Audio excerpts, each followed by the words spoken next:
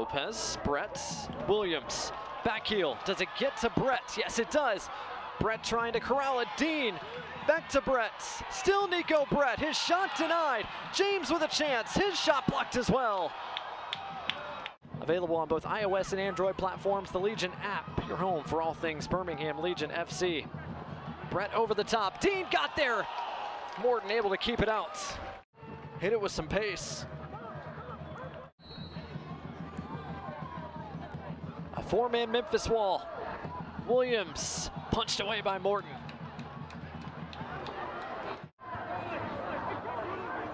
Dean to win the second ball, finds Brett. Brett. Williams over the bar by Morton. What a huge, potentially game-saving save. The phenomenal effort by Kyle Morton.